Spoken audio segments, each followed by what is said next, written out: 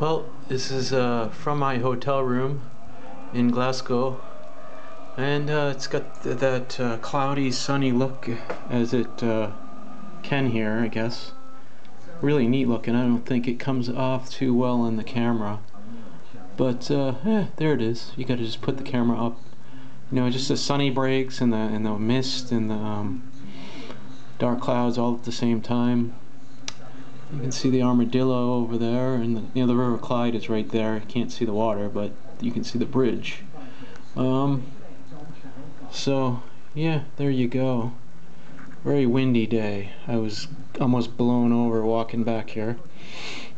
Very sunny day though, nice day. Um, not cold, not not real warm, but you know, real comfortable. And uh, hey there you go. It's Glasgow weather.